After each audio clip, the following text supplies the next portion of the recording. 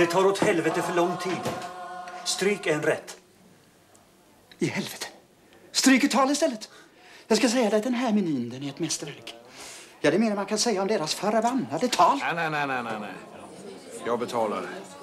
Inget jävla kungajox här inte. Nu är du dum. Så jag stryker inte en jävla rätt. Jag stryker hela menyn. Du kan ta med dig kungen till pizzerian på hörnet. Gör det! Snälla, nu tar vi det lite lugnt. Jag ska tala om en sak för dig. Jag var källarmästare när du fortfarande sket på trasor. Hör du!